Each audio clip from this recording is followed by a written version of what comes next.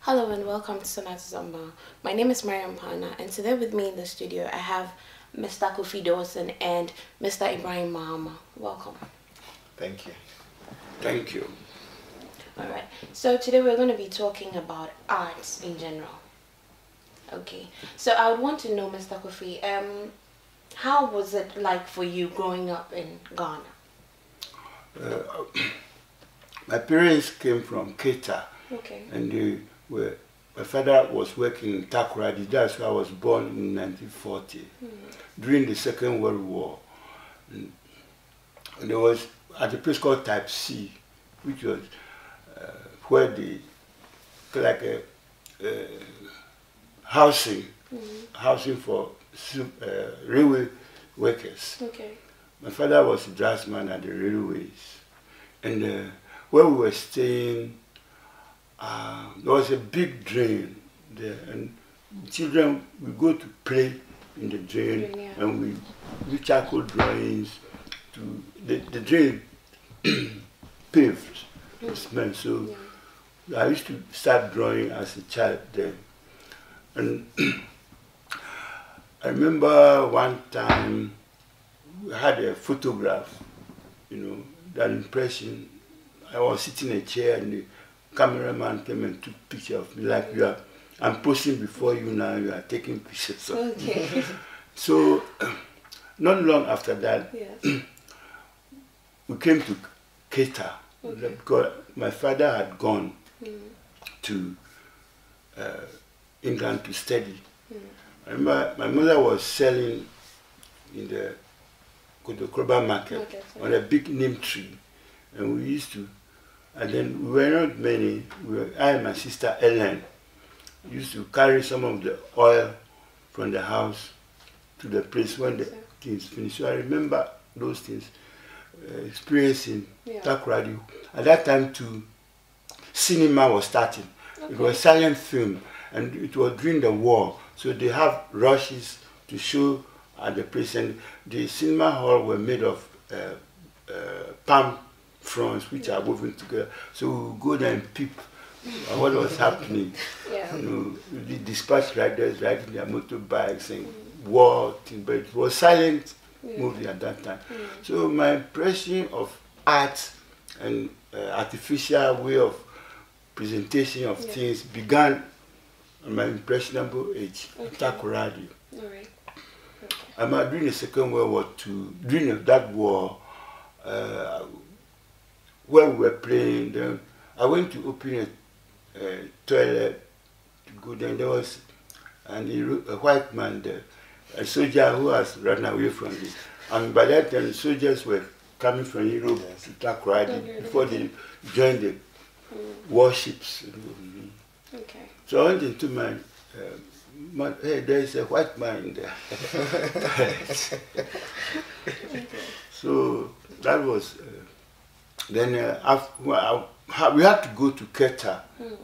Then uh, I think it was a, also a memorable time, that journey, Yeah. when we were relocating from Western region To the uh, region.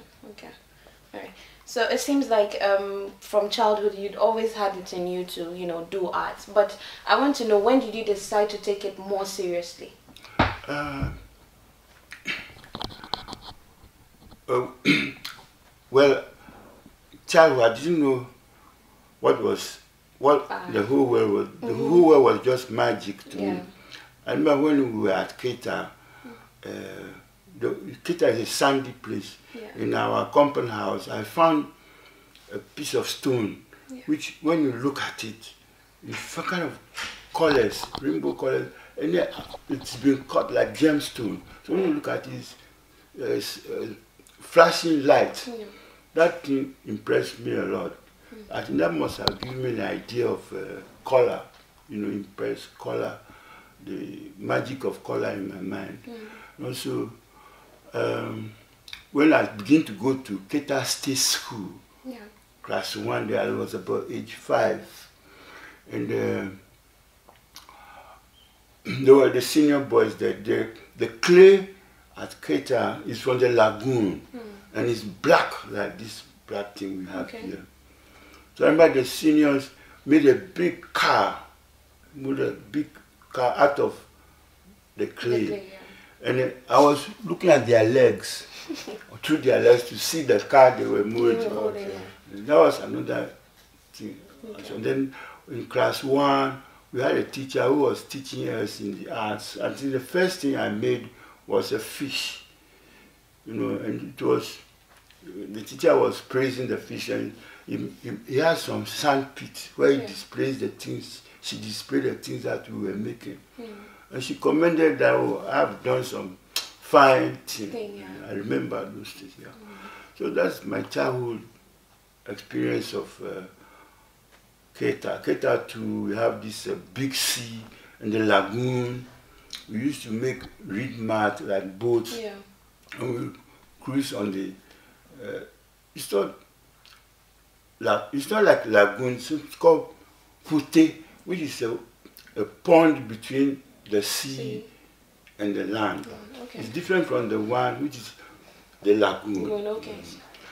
So um, I I want to know um, how would you describe um, or compare art then and then for you know now in contemporary times the art we have. Um, well, I've talked to you about uh, art when I was very young, Yeah, yes. uh, impressionable years. But when I was in middle school, our art was more like what we are going to say now because I was at Bana Hill. Okay. There we were about 14, 15 years old. So you have very serious art uh, programs there. Yeah.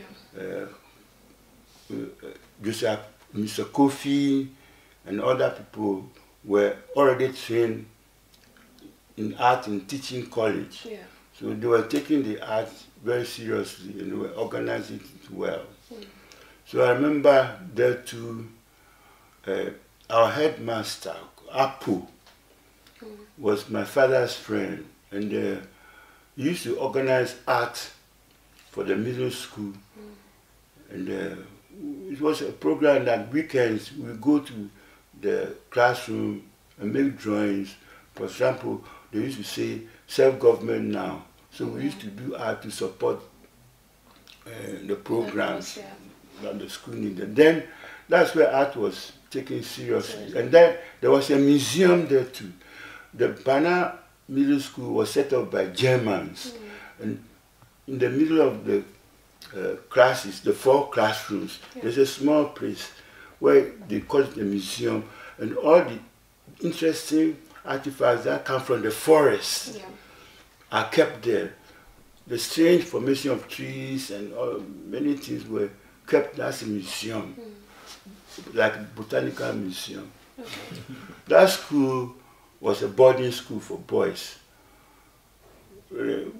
We used to do a lot of hard work there, and then there was also those mostly for the Krobos, and those were good at carving Okay. like Osom and Co, they spend their time there carving uh, rabbits, small rabbits, which they sell to augment their uh, funds Yeah. for, for school. And so, um, art was very good for us in the middle school. So comparing it to contemporary times And like there now. was there was one Mr. Anato. yes. there who was a trained artist and then he drew he painted a mural Okay. on the main building there so i was always looking at it So um, if we are comparing art then, like to those times that you were growing up and all of that, and comparing it to right now, the art, what is the difference now?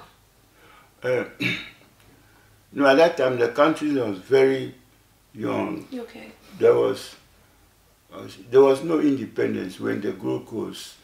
So the art world was they were very strong with the teachers Okay. because after that they have art education, the training colleges. Wow. So they even have magazines where they feature uh, artists and their works and well photographed in the colonial sense. You know, the Europeans who were colonial, who were our uh, what Colonial the masters. colonial masters Yeah. love art.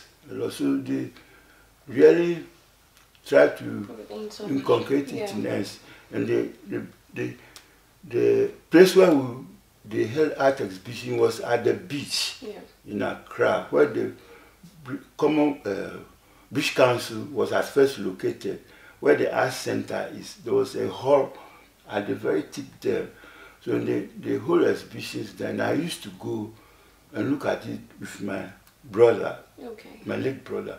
And also, one of the artwork we liked to look very much was the uh, the unknown soldier. What do you call it? That bronze uh, soldier with the gun. Yes. At the first, it was situated in front of the High Court. Mm. And every weekend, we go and admire how beautiful the was. craftsman was. Later on, it was moved to Black Star Square and, and raised very high, so you don't look at it closely. Closely, yes.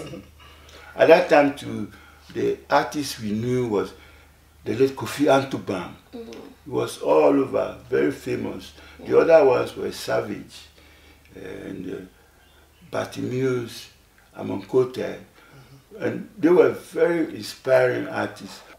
The art scene, which we see now, the modern scene, we have absolutely no idea, except the one who could look was Kofi Ampofo Okay. who used who stays at the mountains and used to make uh, cement fondue uh, sculptures with highly uh, distorted figures and faces, Okay. and also was Kofi. Uh, what's his name? Vincent Kofi. Okay. So those were the circle of artists we knew. But then there was only uh, Society of Ghanaian Artists, which the president was Kofi Antubam. By then we were all in the secondary schools and we had no idea what was happening. Even we were so naive that even we were afraid to price our works, you know, about uh, one CD or so. We weren't sure whether the works was worth anything. Yeah. All right. So um, I want to know um, these modern times and this you know contemporary times. What are some of the things that um, are different? Like I just want to know what is different. At least I know that um, those in those times people didn't know so much about art. You just saw what you saw, but you didn't really know um, what that meant or you know what that really did. But I want to know now. How do we see that? Uh, before we arrive at now, Yes. something happened. Okay. The governor, Guggisberg, decided to improve design Yeah. and uh, traditional arts in Ghana to raise it to the high level. So he built uh, an art school at Achimota, where Antubam, Amon Kotei, uh, Douglas Dawson were taking as students to start the modern art movement. Okay. For some, Amon Kotei told me that when he went there, he used to draw and paint like uh, European painting, portraits and things. And they wanted him to do African art, Arts, you know, okay. things. And so uh, he couldn't, so he dropped out of the school. Because he wanted to be- paint like portrait, not Portrait, uh, akuaba dolls. So uh, gradually the school moved to Kumasi. And then that's the start of our fight to enter the modern world. And so there was no infrastructure as such for uh, keeping the art because we do it just so that we can do something. But how to preserve it and keep it and uh, make it grow and be national Yeah. was not not uh, considered.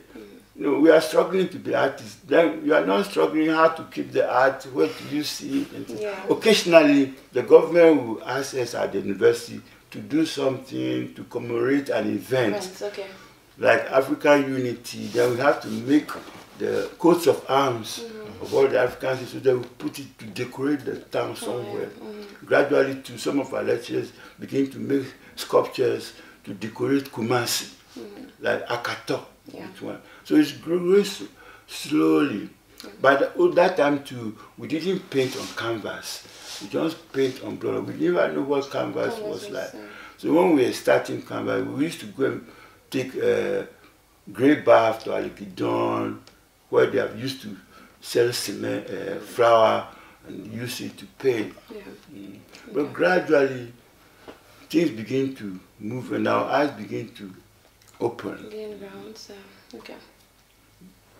But when we are so naive in art, the, it's not possible for the government to take notice of the movement. Like mm-hmm. doctors, engineers, they, you know, they command this thing, but the artists, Yeah. it's now before we are growing in numbers, mm-hmm. becoming an influence where the government has to sit down and plan to build a big place where the art should be kept. Yeah. At the moment, Ghanaians are happy that, oh, we are able to draw like the Europeans. The European tourists come and buy it. Buy it, So that's okay.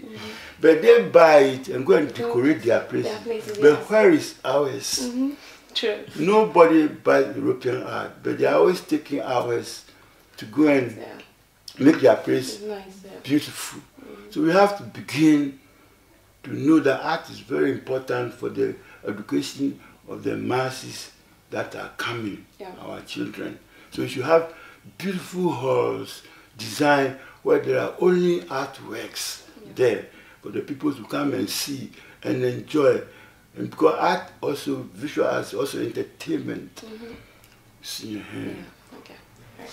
So, Mr. Ibrahim, um, I know you were not there in those times, but I'm sure you are abreast with, you know, art in those times too. So, I want to know, um, what do you think of, you know, comparing that time and then this time? Um, the, he, you know, in the question you said something about modern art, Yeah. modern and contemporary. Mm.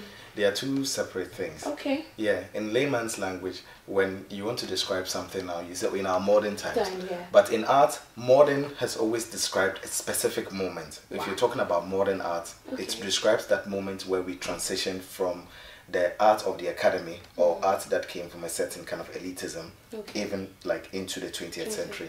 So you're talking about, let's say, the early part of the 20th century till the 1960s, 70s, or 80s. Okay. And then after that, you have in the ushering of the contemporary art. Mm-hmm. Yeah, that is birth.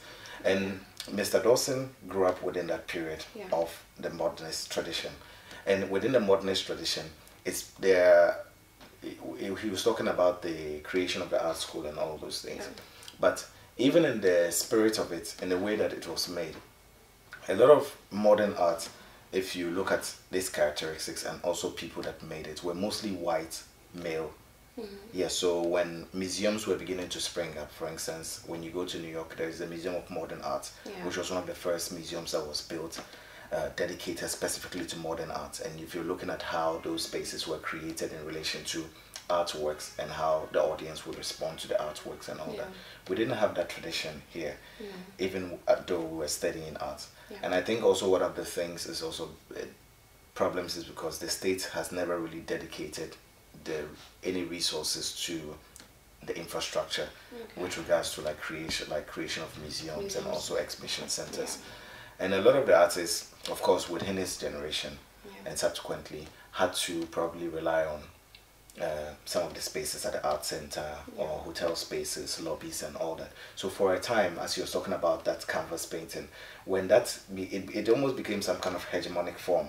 So people would, artists would come to make, would come to believe that in order to make the purest form of art, Yeah. it had to be on a canvas because within the modern uh, modernist tradition, a lot of artists used to use that as some kind of a trope.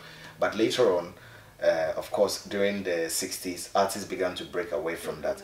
But that's where also our history becomes a bit short in a way that we somehow bought into that whole idea of the modernist tradition in a way that has grown with us up until now. But of course, with the advent of contemporary art, we are, and also with technology and all that, we can be everywhere at the same time. So now we're beginning to learn about all forms of art, artists that made really interesting work. For instance, Mr. Dawson, because the, what makes Mr. Dawson's work actually quite interesting is because he did a lot of experimentation Okay. though he was working at the information service department even as a public servant when he came home he still made art Yeah. yeah so you in the exhibition where we are celebrating his work his life's work you'd actually see a lot of experiments that he has done most of which have never actually been seen before hmm. so you begin to go into an artist's thoughts process and also just his life as a person and how he somehow related to the objects and experiments and things around him Uh, Mr. Dawson, I he just mentioned that you were in public service. So I would want to know if you were in public service, why did you still want to pursue arts? Uh, I was in public service because when I was a student at Kwame Nkrumah University on a Kwame Nkrumah scholarship, Yeah. there was a stipulation that graduates should serve bond five years in the civil service Oh, okay. to offset the money spent on them as students because we were on that scholarship. Yeah. Now that scholarship thing is not there. so that's one of the modern thing that happens Okay. today. Yeah. To see the difference between. Between, yes. So uh, after serving five years, I had to leave, see, Okay. so that I could be on my own. So because I knew I would be on my own, I used to during the lunch break, Yeah. I rush home to my studio Okay. and do things like paint portraits of uh, the president, uh, Busia, so that a friend of his took it. And things, just doing things like that. Like that, okay. But I think I remember that the paintings which El Sweeting made to decorate the CP conference room were removed and destroyed, uh, and they were kept somewhere in the yard. In the. I used to treasure them, look at them, but I don't know what happened to them later on. We need a place where things should be kept for Okay. his historical reasons. Okay. All right. So um, earlier on, you mentioned uh, other people in the arts, like in your time. I want to know what are some of the things they did in in those times and where we can find them. Um, well, some of the works Yeah. that were done by, uh, which inspires, was this uh, Vincent Kofi. Okay. He made, he was commissioned to make special fountains for the State House on the forecourt there. Okay. Uh, But then, and then Antubantu made the clock with Adinkra symbols for the numbers. They are still there. Sometimes, if something happens and I go there, I try to look if they are still there because those artworks in public, if you are not careful, the Europeans love art so much that they are ready to smuggle them out of uh, from under our nose Yeah. to go and put in their museums because they love art Art, yeah. be art public education. So this, so this thing came from Ghana, uh, uh, State House. You know, there. So if you are not careful with artwork, they will be stolen from under From- you. So yeah. you must have a system where you guard and watch and protect, Protect them too, them. not just you just put it there. Yeah. I've seen Mr. Ashari's Birds in Flight and other works which we use Kwame Nkrumah commissions to use to decorate Accra, mm. whole sculpture in concrete vanish because they say that they are making a street Yeah. and they will have to use that place. They move. yes, they you never see it before you are aware. It's mm. somewhere in Europe. I think it's also because of the lack of education, Yeah. also with regards to the significance of artistic work and also what it means for a generation of people. Yeah. Yeah, because uh, it's one thing that we really have to take seriously. Seriously. And not just in relation to art, but in all fields, like even in the field of medicine or in the field of agriculture.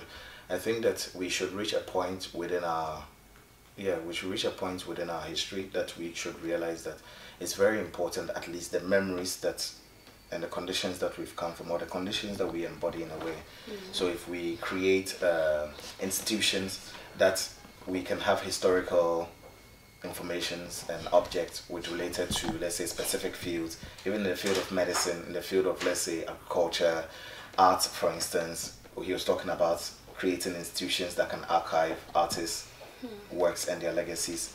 Uh, for instance there was um, uh, Kofi Antubam had a painting in a mural at the Ambassador Hotel which when the, when it was being converted into the new hotel Movenpick they could have saved that aspect because it was painted on a wall. Wow, okay. It is not very difficult to preserve a wall. You can actually just find a way because if you're spending millions to renovate a building, you can probably spend a tiny budget of it to actually. And there are some things like in Europe, for instance, or in the West, there are some buildings where, or there are some monuments which are so important that if you're going to build a road and that monument is there, There. they have to make. It's either you don't do it because you cannot touch it, Touch it, or you have to build it around, it and it. leave it, or you have enough money to actually uh, take it successfully and transfer it elsewhere. I remember there's an important story of uh, I was working on this project in Tel Aviv uh, a few years ago, and there was a building in the like somewhere in Tel Aviv, which was very, very, very, very important. And they were they they had to build these new uh, office buildings in that area.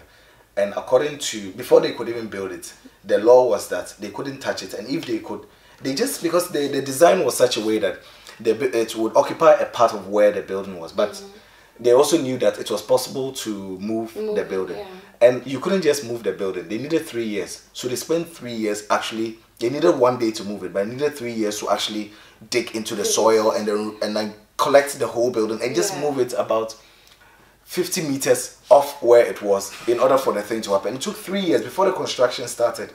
So you see how much dedication goes actually into preserving. So you realize that those people take things Yeah. seriously. Mm-hmm. So I think that it's we have to arrive at that point and also not just think of art as some kind of a mere decoration which can either exist or not, mm. but actually embodies a certain part of our own history and our lives and generations to come.